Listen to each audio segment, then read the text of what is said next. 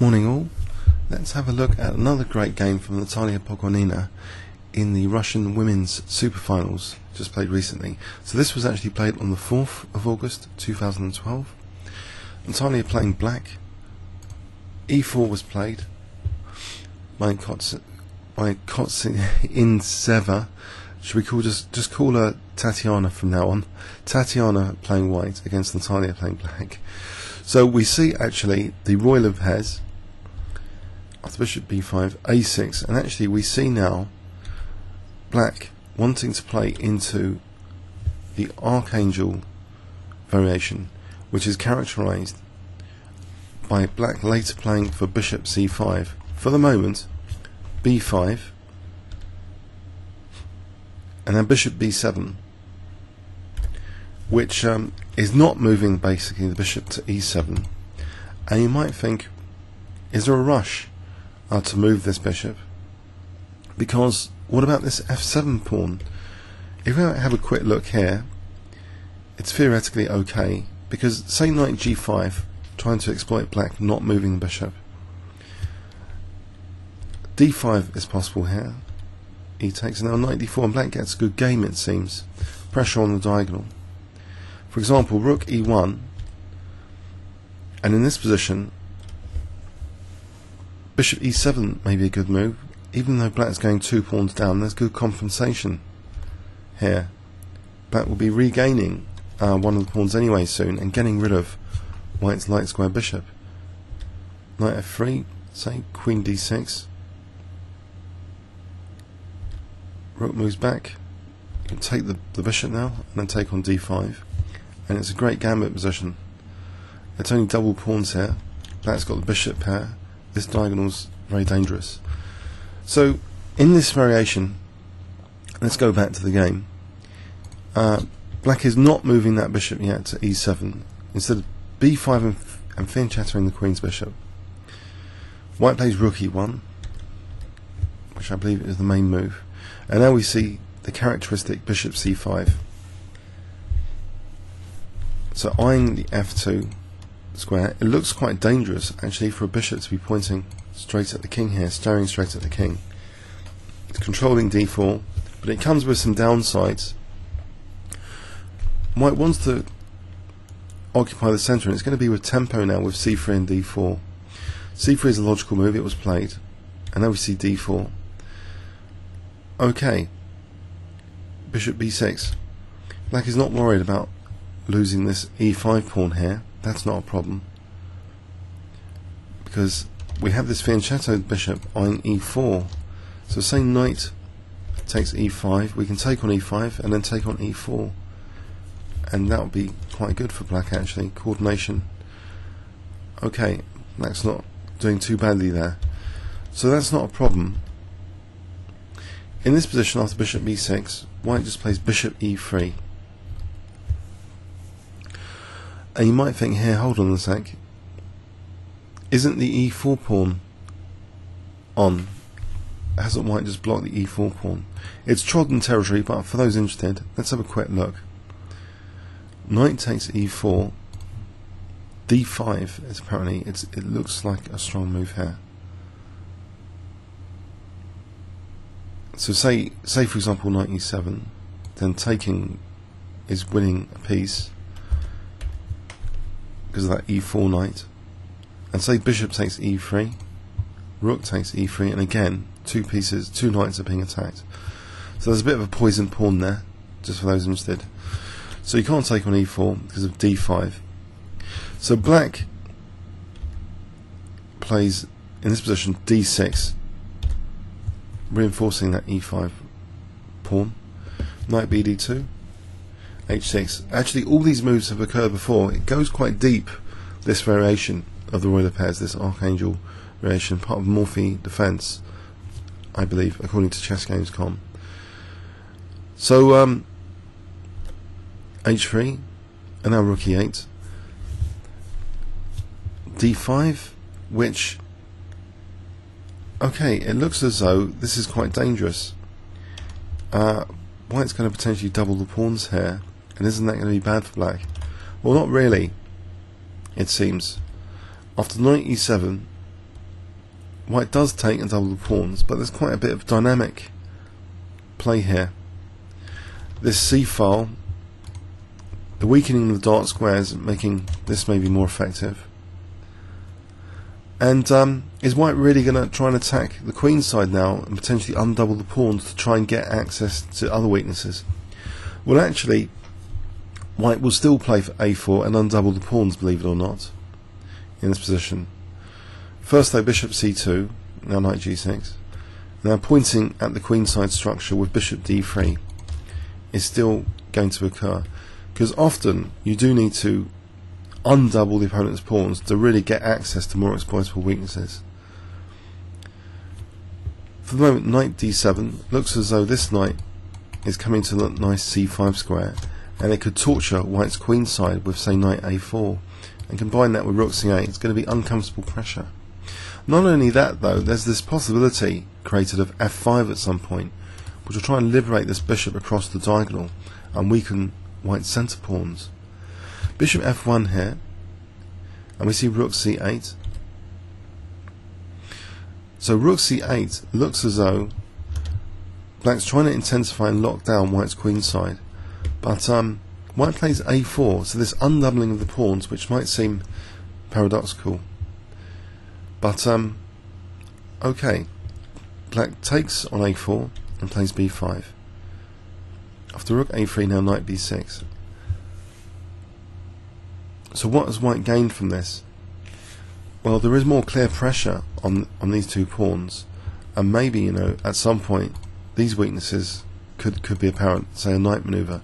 But for the moment, black's pretty solid. G3 is played, and then we see Rook F8. So the emphasis is now on this F5 potentially. Bishop D3, and now Queen D7, hitting H3. king protects h3.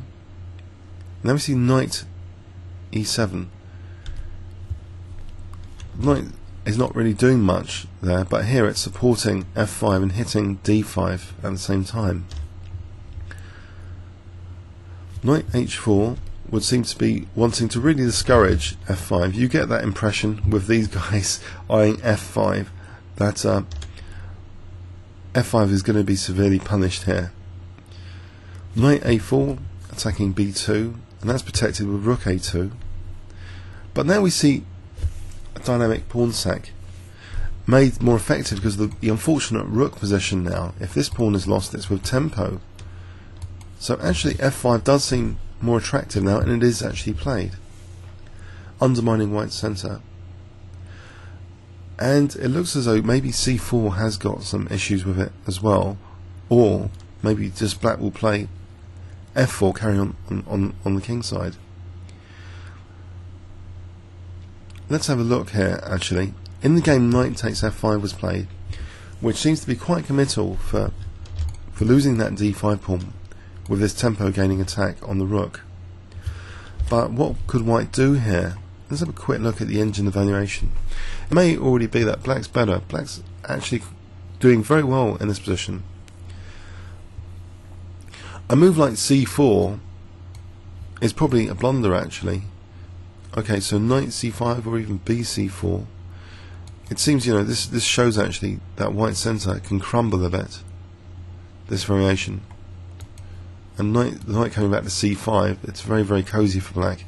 Pressure on the f file, offside knight. That's to be avoided.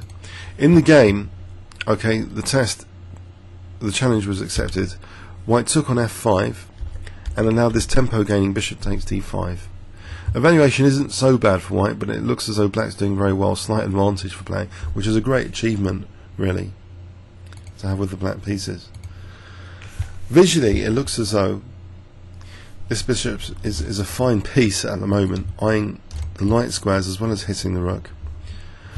White plays c4, and instead of the bishop going backwards, we see knight c5 counter-attacking White's bishop. Okay, White moves that bishop, and now this bishop goes back. And now, White tries to hold on to the f5 pawn by playing g4. Slight downside to this, this rook is actually naturally placed on the f-file. This rook seems artificially placed. Uh, this bishop seems naturally placed on the diagonal. This bishop is ready to defend that diagonal. The knight's nice on c5, but can b4 kick the knight off its perch. Well, black's top priority, Natalia, thought it's good to secure the knight maybe on c5 here, but she played b4 before doing anything else. And this looks like a really creaky move that's played now, a quite passive move. And we've seen from a previous Natalia win, it doesn't really help White to play such a move. It creates all sorts of havoc and weaknesses, this sort of move that's played next. The ugly looking f3. Not only is it potentially weakening second ranks, as we've seen in the previous game, it's also weakening dark squares. This is the sort of move you really want to encourage your opponent to do. Um, in this position, what would be an engine suggestion though, instead of that seemingly committal weakness creating move? Maybe knight b3, knight f3. f3 is actually given though, uh, briefly. There is some logic to it, of course. There is a reason it's played. It's to reinforce e4 and be able to play knight e4 and block out maybe this bishop. But um, okay, there's a dynamic possibility which is shared by Houdini and Natalia here to really exploit the downsides of f3. It is a sitting target on this f file, so why not try and intensify the pressure on the f file with a dynamic pawn sack? Exactly what Natalia did now with g6. So we've got a lot of pressure bearing on f5 now. White takes on g6 here. Let's see, is, is there any other alternative? Thankfully, this knight is protected by the rook, so say, say knight e4. Clearly, white would welcome this, reinforcing f5, but um, taking here might be possible here. Because knight c5, we have rook takes c5 here. Otherwise, this this pawn's pin it would have been helpless there. So it seems as though this this is okay um, for black against knight e4. So fg okay takes material. Now we see quiet move queen e6. Just going to calmly regain the pawn. Another method could have been queen g7 on engine inspection in this position just to regain that pawn. But either method, we've still created an intensification of pressure down this F file. And black's pieces are basically harmoniously and beautifully placed, really. If you look at this bishop and knight and this rook down the F file, and white's pieces have an artificial look to them, especially this rook on A2. But uh, it's made a bit more functional with B3, not only reinforcing C4, but maybe the rook can swing across potentially. Okay, Queen G6 and now Knight E4. Okay. In this position, Tanya plays actually bishop takes e4, giving up that that light squared bishop, but there are advantages in doing so. For a start, the knight bishop scenario in endgames looks pretty good actually. If the bishop's on the same colour as all these pawns, maybe the knight can plonk itself later on d4. Strategically, that's not a bad endgame in principle. But also in the middle game, which the gods have given us before the endgame, the the f file can be used, and actually Natalia plays rook f6, dual purpose, protecting d6 and double rooks, try and infiltrate down on f2 at some point. Bishop g2, add support for e4, make sure rook f2 is not going to be that dangerous. Okay, this is played anyway, and now rook d2, frontal attack. The rook's found a central position where it's actually doing a lot more than on d2. But white's kind of passive. Look at that knight eyeing b3 and the queen's tied down to b3 at the moment. And it's looking at e4 as well. This is a beautiful knight. Still, how do you win this position? That's the question.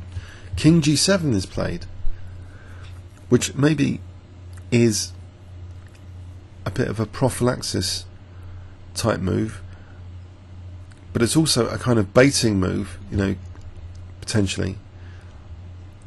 At the moment, this, this d6 is adequately protected laterally. But at some point, maybe the d6 is going to be sacrificed. And at some point, then queen d5 is not going to be checked. So maybe the king is only going to be slightly safer on a light square here. Rook e3, and it looks as though white's counterplay has been stuffed a bit. And this is a characteristic of Montano's wins, uh, some of Montano's wins with black, where the counterplay of play with white has been severely reduced. So we see here now a waiting move. We're approaching move 40. It's a non-committal waiting move, rook e6, still adding support, keeping the support on d6 for a moment. So maybe this is the move 40 time control. And now queen g5, actually, okay. Eyeing these rooks is, is pretty useful it seems, and also there's the queen f4 check idea. Rook g3. Now we see a5 because this might be exposed to an attack at some point, and it also looks as though there's a pass pawn potential over here. Queen d1, and white's back to a position with very little counterplay. A bishop on the same colour of all its pawns, and black's dominating, it seems, not only the f file but the dark squares a little bit. But uh, for the moment, queen g6. Okay. Rook a2. If white's uh, looking at the a5 pawn, what about the defence of the king? What about this second row? What about f2 infiltrations? Okay, but uh, now, after rook e f6, white does move away resources away from the king, and, and we we've seen so many games recently where as soon as the the queen goes away from the king. White, white's, the king's often in trouble. But here it's a rook going away from the defence of the second rank. Here with move rook takes a5. So there's a big question here: is this actually necessary?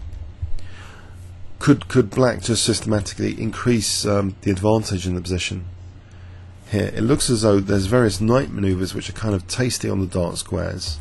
In any case, say white doesn't play. Let's let's just check with an engine here. What were the alternatives? It's actually given us a move and probably a better move than anything else. So why why is that? What if, for example, let, us imagine Rook d2 again. In this position, there seems to be a tactical move. Knight takes e4. Oh, sorry, not so tactical. That's a loose pawn. And the exchange of pawns here, after takes, takes, rook takes d6, I think would be terrible for the white king safety. White will be getting mated here.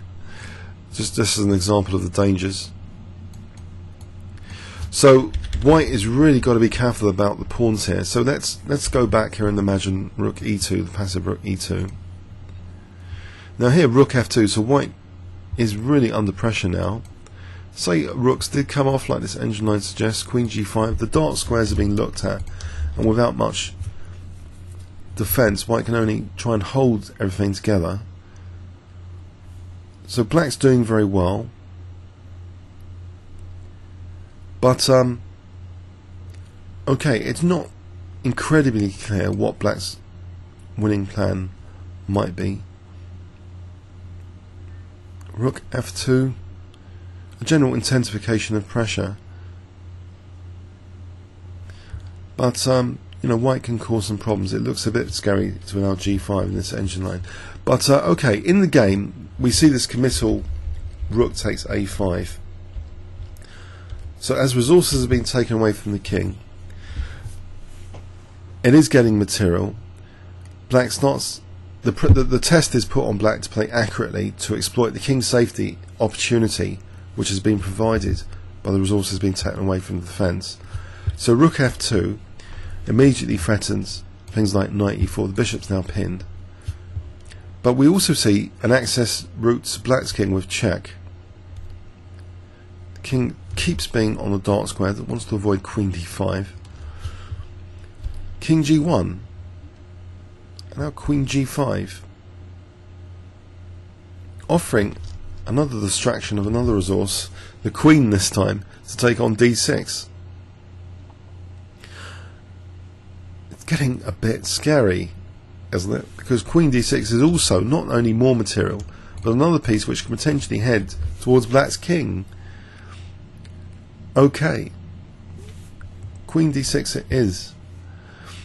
So now a tactical move played by Natalia in this position, which is very strong. I wonder if you can guess it if I give you 10 seconds starting from now.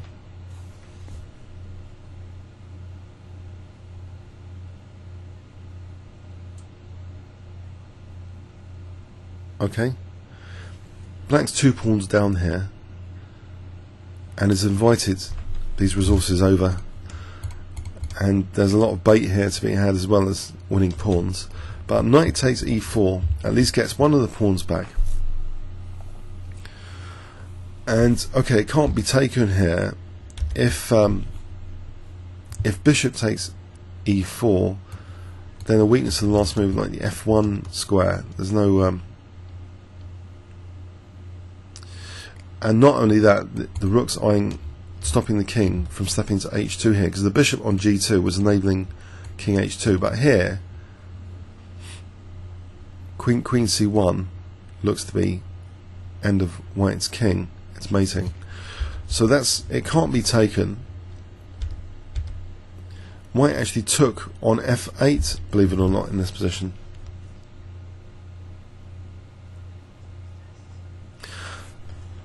By the way, as well as knight takes e4, it might also be the case that queen c1 check is also very powerful. Still being two pawns down, and in this position queen f4 creates real issues like rook takes g2 check, so this is another way of playing the position. But both may be equally effective. Knight takes e4, prompted here, queen takes f8. So it is actually forking uh, queen and rook though, so what does white actually do here in this position? Can the queen move back? You might think. Well, actually here, check. Queen f4 again, very powerful move. And there there looks to be a very strong threat now of actually rook takes g2. Forget knight g3, rook takes g2 let's just make sure of that. Let's give white a move to make sure rook g2 is actually the major threat. Let's say white plays rook b7. Rook takes g2 mate in 7. Queen f2. Knight takes g. It's, it's vicious. So that's the major threat here. And if white wants to uh, give up the rook, then that's that's pretty hopeless. This here, queen takes g3, it's hopeless. Here, queen takes e4, we have rook f1, mate, that pinned rook. That pinned bishop, rather, is not helping king safety. So, okay, so we'll go back. So this is why knight takes e4 now is really bad news for white. So white plays this uh, queen set. Queen takes f8 check. And we see two pieces being collected here. Bishop takes e4. But in this position, the queen's very dangerous on the dark squares. Queen f4, double attack. But you might think, hang on, hang on, there's a problem with this. White can save the bishop here with rook f3. And if as she takes, that would be mate. That would be quite embarrassing. But no, Tony has seen this. Check. Check. Check. In that position, by the way, if the king dared step on a dark square, then taking and then queen d4, unfortunately, wins the rook. The rook is unfortunately placed on a7 right now, and this forms um, an important part of the game conclusion. Check, check. Now rook takes f3, and we see that idea that queen f2 will pick up the rook. White tries to save the rook with check, and now to still maintain two pieces uh, for the queen and we've got this running c pawn so is this going to be really dangerous for white is it going to be so clear cut rather uh, if the queen hasn't got any support? But no there's a key move here a neat little move that Natalia plays. If I give you 10 seconds can you spot it in this position? 10 seconds starting from now.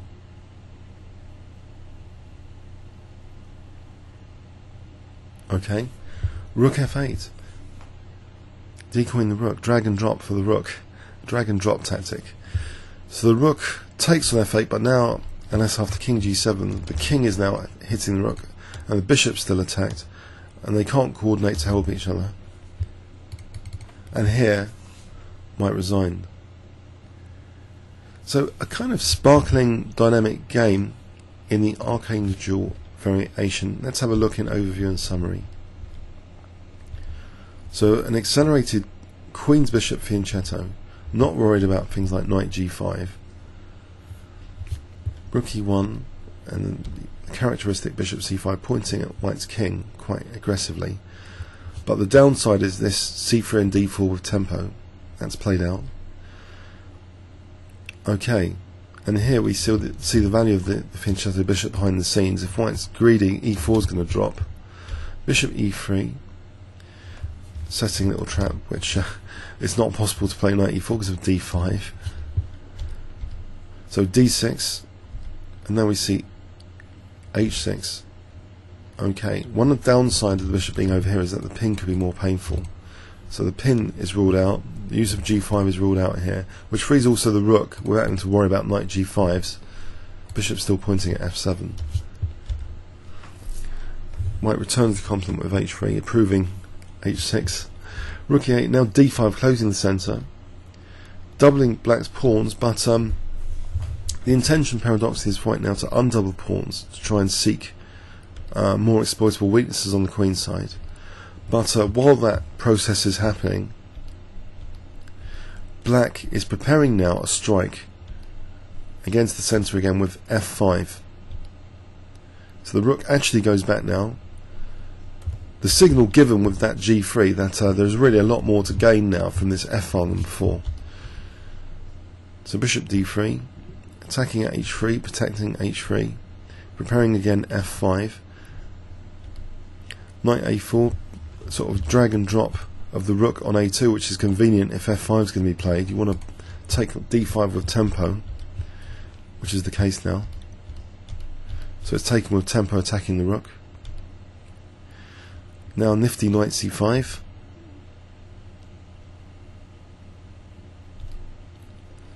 Bishop e7. Okay, in this position, you might think, by the way, uh, what about could b4 have been played in this position? Uh, we didn't make really a note of that. In the game, g4 was played, but imagine b4. Yes, queen takes f5. Dynamic aggression of this bishop is being demonstrated on this diagonal, for example. so, so white has to be careful about this f file right now. So, g4 unfortunately. But it can be exploited with this uh, soon, with this pawn sacrifice, with this g6 pawn sack. But first, b4 is ruled out here, and then we get the pawn sack and the celebration of this f-file pressure. And not only that, look at how many pawns are going onto light squares in this position with the with the bad bishop. And so black is keen to um, get this knight bishop scenario build up some F file pressure.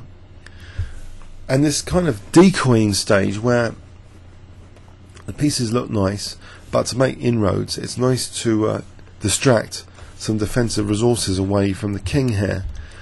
So it seems that um, the queen side a a5 pawn is the first one to be offered as bait soon,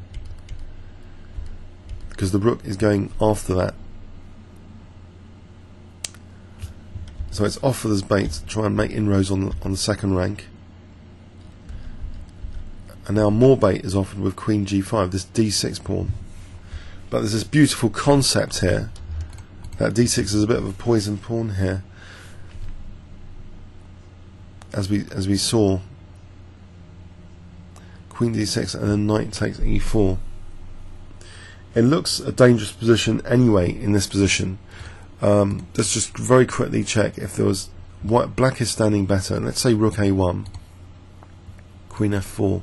The f file looks a real menace.